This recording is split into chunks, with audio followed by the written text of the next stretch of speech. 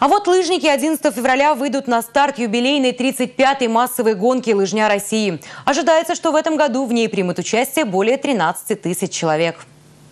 Место соревнований – лыжная трасса в районе Чебоксарского аэропорта. Работы по ее укладке начались несколько недель назад. В этом году дистанция, как всегда, будет варьироваться. 3 километра для любителей, 5-10 для спортсменов. Для удобства участников появится парковка для автомобилей на 3000 мест.